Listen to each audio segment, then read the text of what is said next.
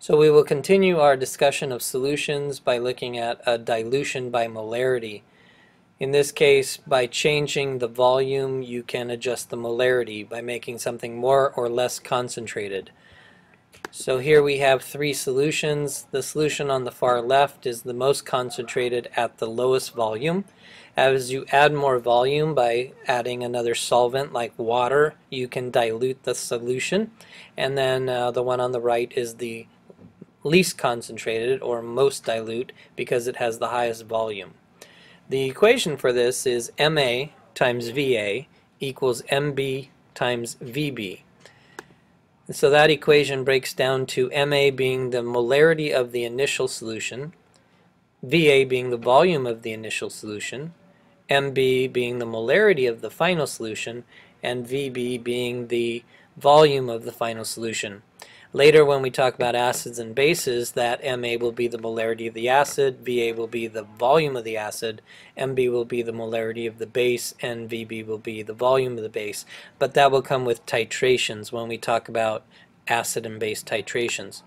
So let's look at a sample problem and if we were given 25 milliliters of water to add to a 125 milliliter solution of 0.15 molarity and this was an NaOH sodium hydroxide solution and we needed to find the molarity of the diluted solution. First let's identify all our knowns and unknowns. So our Ma mass of the first solution is 0.1 or molarity of the first solution is 0.15 molar. Our initial volume is 125 milliliters.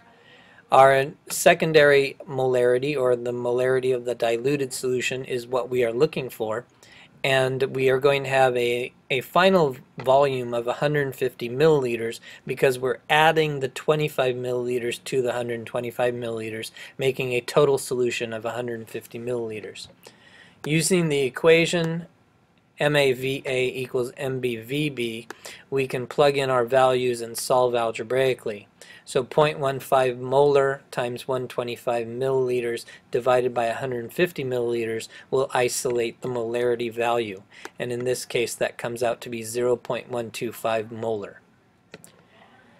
As a second example, we have a solution with a volume of 0.05 molar HCl solution and we're going to dilute it 250 milliliters of 10 molar HCl. So let's look at our values again.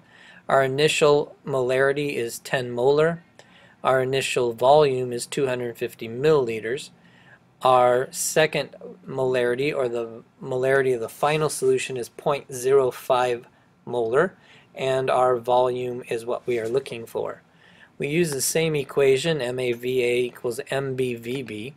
Again, plugging in the values and solving it algebraically, we end up with 10 molar times 250 milliliters divided by the 0.05 molarity. And what we note here is that we get 50,000 milliliters of solution. Now that seems quite a bit, but notice the change in molarity from 10 molar down to 0.05 molar. That's a tremendous change in concentration, so that's going to need a much larger volume, and that's why we have 50,000 milliliters of this volume. So as we had with gas laws, there's some inverse um, reactions here, and as molarity goes up, volume goes down. So these are inverse reactions or relationships and uh, if you increase the volume that's going to drive down the molarity. Again, an inverse relationship.